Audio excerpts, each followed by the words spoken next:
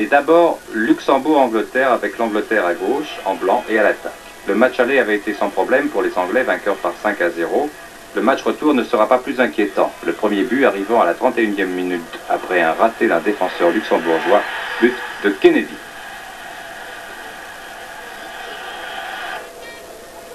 Deuxième mi-temps sans histoire particulière non plus, sinon que les Anglais devront attendre la dernière minute du match pour marquer un deuxième but, cette fois par Mariner. A souligner que malgré cette victoire, les Anglais sont mal placés dans le groupe 2 par rapport à l'Italie qui devrait se qualifier à ses dépens. Ce ne serait pas là la moindre surprise.